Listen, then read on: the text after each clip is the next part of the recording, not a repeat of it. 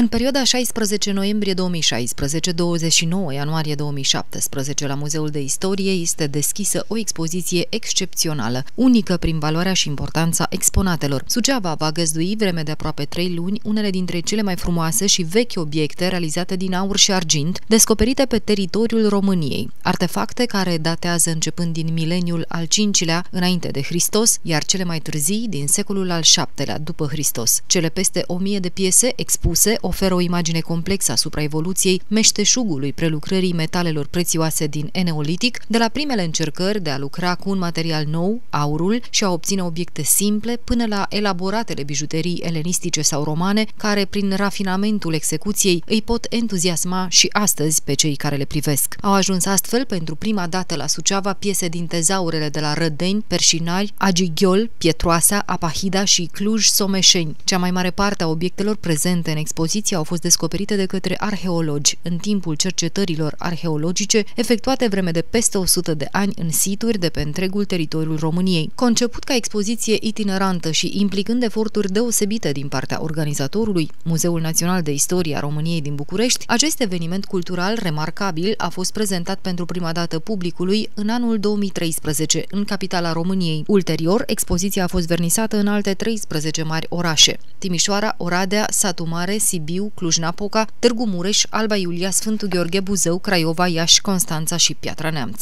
O expoziție datorată Muzeului Național de Istorie a României, cel care a coordonat acest ambițios proiect, uh, coordonatorii expoziției fiind uh, domnul Ernest Oberländer Târnoveanu, directorul Muzeului Național de Istoria României, și doamna Rodica Oanță Marghitu. Le mulțumim că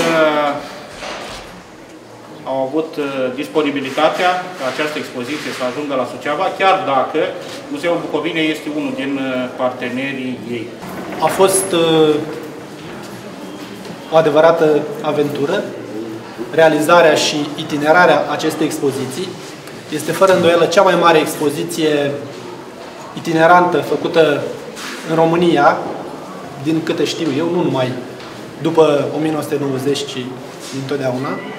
Sunt peste 1000 de obiecte um, de o valoare extraordinară. Um, sunt câteva mii de ani de istorie și civilizație pe care îi veți descoperi în această expoziție, care a fost vizitată până acum de peste 150.000 de, de oameni.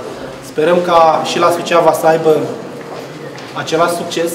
Ne-am bucurat întotdeauna de sprijinul necondiționat al colegilor din țară. Piesele au fost documentate, um, există informații despre contextul în care au fost descoperite, despre locul în care au fost descoperite, uh, despre diferite detalii tehnice. Practic, uh, vizitatorul, uh, le-am gândit să oferim vizitatorului cât mai multe căi Uh, de abordare a uh, obiectelor. La o selecție de piese din expoziția Tezaur istoric a Muzeului Național de Istorie a României se adaugă și o contribuție semnificativă a altor 31 de muzee din țară, care au participat la rândul lor cu artefacte cu mare valoare istorică. Muzeul Bucovinei din Suceava a contribuit cu 10 piese, toate din aur, aplicile de la Cașvana, datând din secolul al VI-lea înainte de Hristos, pandantivul de la Rotopănești, secolul V după Hristos și tezaurul cu monede bizantine ruine de la Udești din secolul al VII-lea după Hristos, toate descoperite în cadrul unor cercetări arheologice efectuate cu specialiști ai Muzeului de Istorie din Suceava. Pentru vizitatorii dornici să se informeze suplimentar, Muzeul Național de Istorie a României a editat un catalog cu toate piesele prezente în expoziție cu explicații detaliate. Expoziția poate fi vizitată până la 29 ianuarie 2017. Prețul unui bilet de intrare este 5 lei, iar pentru elevi și studenți un leu.